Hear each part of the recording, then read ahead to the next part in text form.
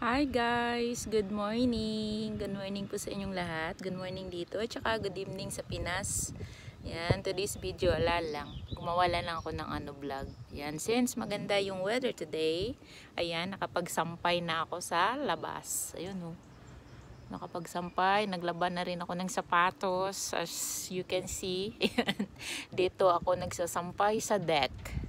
And it's my day off today, so I have a chance na mag-vlog in a short video.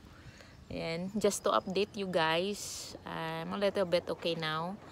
So, sana okay po kayong lahat. Just to give you an update, this is Mami Ann Vlogs. Uh, if you are not subscribed yet to my channel, you can uh, like, share, and subscribe. And don't forget to click the notification bell para updated po kayo lahat sa aking next video. Ayan, maganda pong panahon ngayon. Ayan, maaraw siya.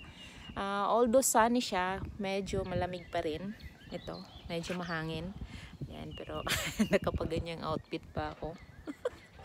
Ayan guys, oh. Di ba? Ayan yung paligid namin. Nasa ano to, nasa backyard. Backyard lang to. Ayan. Ayan. Tirik na tirik yung araw. Tingnan nyo naman. Tirik na tirik, di ba? Maganda. Maganda. Aray! Andito yung araw. Nasusulaw ako. Ayan guys, sana okay po kayo. Ayan. Ito lang po ang pinaka short short video ko. Ayan. Just to flex the weather.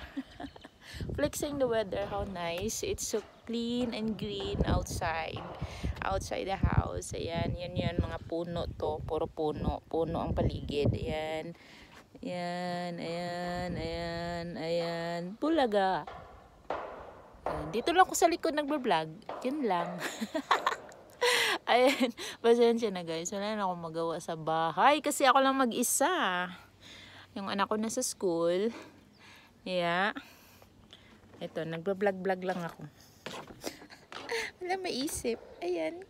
Thank you guys for watching. Have a nice day. See you soon. See you around sa Whitey World. Have a nice day. This is Mommy and Vlogs.